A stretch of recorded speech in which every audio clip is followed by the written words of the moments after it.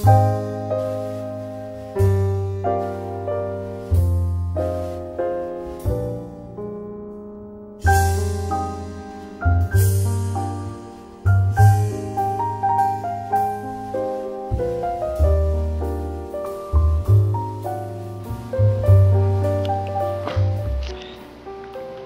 sábado, la Asociación Mexicana de Hoteles y Moteles de Puerto Escondido, Asociación Civil,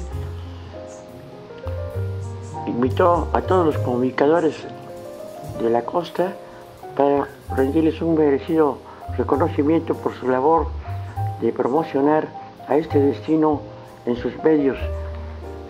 En esta importante reunión, el presidente de los hoteleros, Austerberto Garfias, rindió un detallado informe de las actividades que ha desarrollado esa asociación para eh, promover este destino, ofertando también diferentes paquetes para más turismo.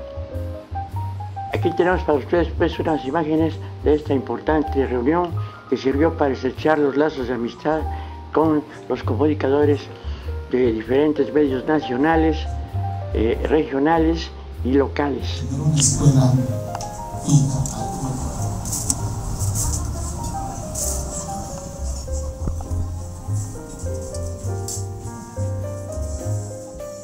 Informó para Prensa América Internacional José Torrentera.